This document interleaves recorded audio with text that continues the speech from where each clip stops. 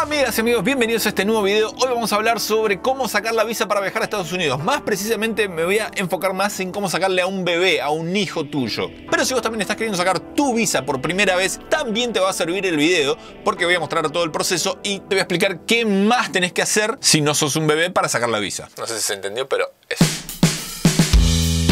Bueno, en primer lugar lo que tenés que hacer es venir a la página de la embajada que te lo voy a dejar en la descripción abajo para que puedas entrar porque a veces es medio difícil encontrar. Bien, vas a entrar a la página de la embajada de Estados Unidos de tu país, en mi caso es de Argentina. En la parte de visas puedes elegir visas de no inmigrante o visas de inmigrante. Eso si vos querés emigrar a Estados Unidos. En nuestro caso vamos a sacar la visa de no inmigrante porque es solamente para un viaje, para ir de turismo, de lo que sea. Y acá te da un poco de información para que leas para saber qué tipo de visa te sirve a vos.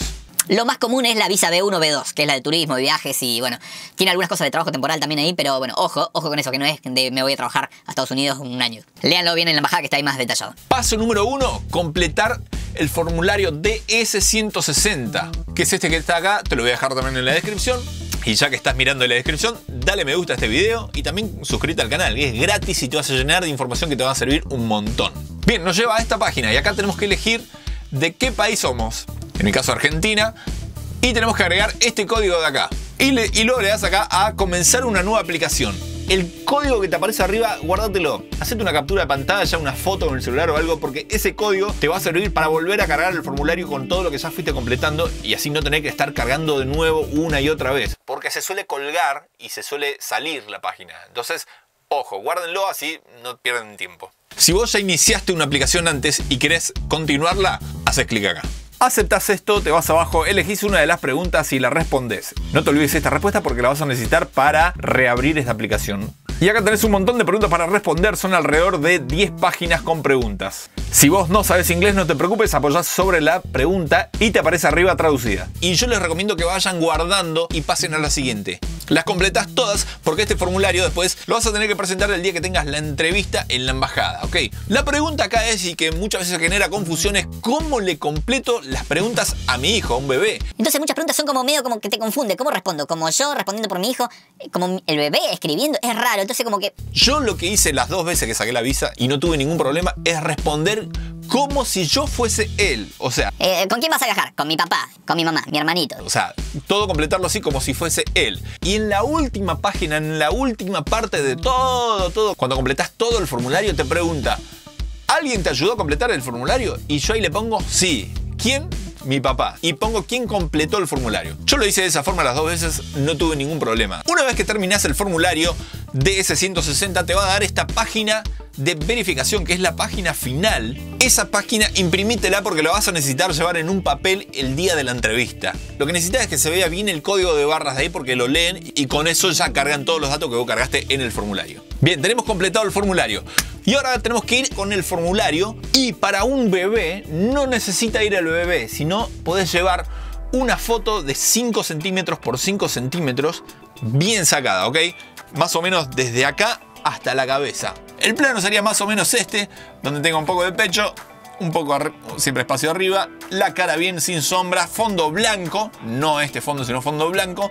Yo le saqué esta foto a mi hijo, la fui, la imprimí y directamente la llevé y ellos se escanearon esta foto y ya está, no hace falta ni llevar al bebé ni nada. Bueno, para sacar el turno, venimos a esta página que te la voy a dejar también en la descripción, donde te tenés que crear una cuenta. Le pones solicitar, seleccione la condición que le corresponda, en mi caso es he completado el formulario de solicitud, el D160, el que completamos recién, y necesito solicitar una visa. Pongo continuar y acá te puedes crear una cuenta, tu nombre, tu apellido, correo electrónico, contraseña, etcétera, etcétera.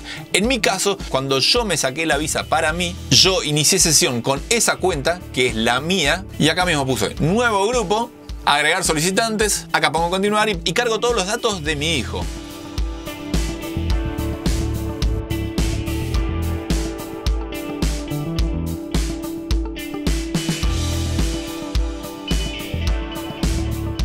Avanzar los siguientes pasos y en un punto tenés que pagar 160 dólares para que te hagan la visa. Dato muy, muy importante si sos argentino, te recontra conviene pagar en pesos argentinos. ¿Por qué? Porque te lo toman al tipo de cambio oficial. Yo, 160 dólares, en abril de 2022 pagué 19.200 pesos. Y hasta que no pagues, no te deja avanzar al siguiente paso. Cuando vos pagas, pasan unos días, al día siguiente hábiles, dos días hábiles, lo que sea, te llega un mail de que ya se habilitó el pago y directamente entras y ahí recién te deja seleccionar la fecha para ir a presentar todos los documentos. Para saber más cómo adelantarte si tenés un turno para dentro de mucho tiempo y cómo adelantarte, te dejo este otro video que te lo voy a dejar en la descripción también, donde hablé específicamente de eso, cómo adelantarse en los turnos. Y acá es donde tenés que seleccionar un turno para ir a llevar el formulario, en el caso de un bebé es el formulario, la fotito y el pasaporte. Acordate que necesitas el pasaporte. Si estás en Argentina y tu pasaporte está retrasado, como me pasó a mí, Abajo en la descripción tenés un video donde te explico cómo hacer para agilizar un poco el trámite, porque a mí me pasó que seis meses me demoraron y cuando hice eso se resolvió a los dos días. Y hay muchos que me comentaron en ese video de que le pasó lo mismo, así que anda porque sirve mucho ese video. Eso es para Argentina. Bueno, para un bebé, te vas ese día en el horario que elegiste, haces la cola como siempre, cuando llegas ahí te preguntan, ¿es la visa para usted? No, para mi hijo. Le pasas el formulario, la foto y el pasaporte, lo miraron al toque, escanearon la foto y directamente me dijeron, bueno, el pasaporte se queda acá y en unos días te va a llegar un mail. A mí ya me llegó el mail de que ya está la visa, ya está disponible. Ahora lo tengo que ir a retirar nada más. Y ahí cuando entro nuevamente a esta página,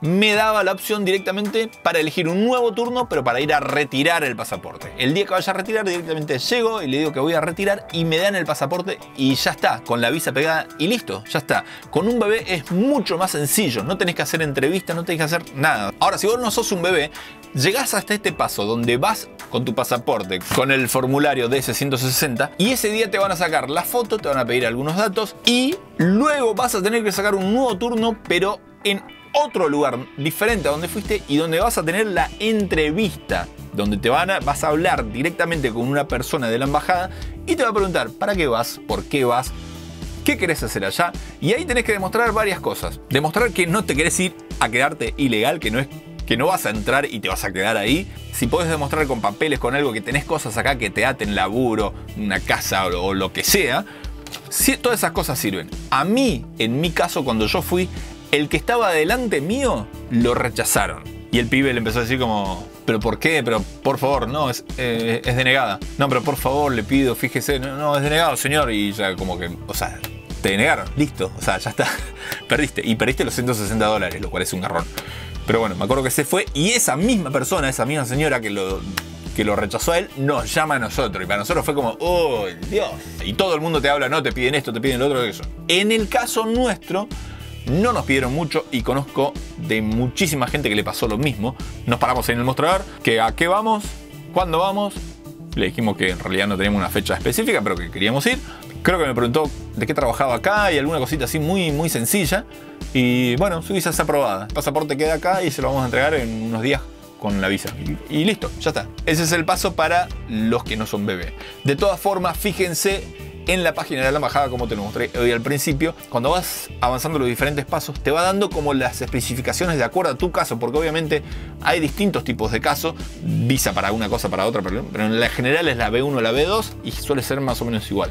Fíjate qué es lo que te piden específicamente de acuerdo a tu caso y anda con todos los formularios ese día, no te vayas con nada porque te va a faltar cosas y te van a rechazar. Bueno viajeros, espero que les haya gustado, espero que les haya servido este video. Cualquier data que la quieras dejar la puedes dejar ahí abajo. Y no olvides suscribirte al canal y darle me gusta a este video y nosotros nos vamos a ver en un próximo video. Hasta luego, chao chao.